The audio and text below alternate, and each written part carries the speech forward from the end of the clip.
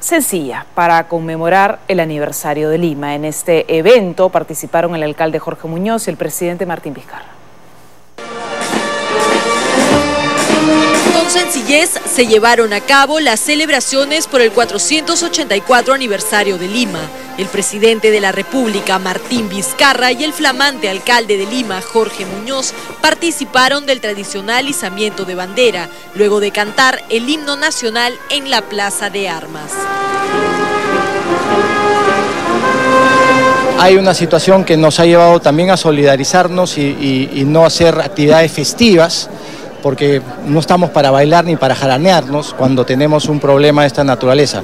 Más bien hay que ponerle, como dije hace un momento, el hombro para sacar adelante esas situaciones y otras que nos demanda la ciudad. Más tarde, Jorge Muñoz participó de la misa Te Deum en la catedral y a la salida de la misma opinó con respecto a las obras que faltan culminar para los Juegos Panamericanos. No vamos a llegar a tiempo hay que ser conscientes en ese sentido si es que no buscamos algunos mecanismos para poder implementar las obras que estaban pendientes. Aseguró estar trabajando arduamente y en conjunto con el Ministerio del Interior para combatir la inseguridad ciudadana, pero se mostró en contra de que los efectivos del Serenazgo porten armas. Yo siempre he dicho que eso es muy peligroso porque eso puede llevar a una, a una espiral de violencia hay que saber qué cosas le corresponden a las municipalidades y qué cosas le corresponde al Ministerio del Interior.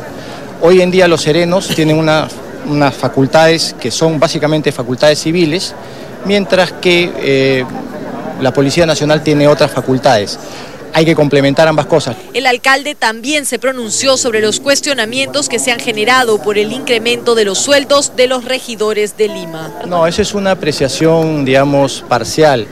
Eh, según la ley, los regidores tienen un porcentaje que no puede exceder del 30% del sueldo del alcalde y eso se ha mantenido en la municipalidad. Está clarísimo. El Consejo Municipal le otorgó a Muñoz una licencia para realizar un viaje de negocios entre el 24 de febrero y el 1 de marzo a Bélgica, Inglaterra y España.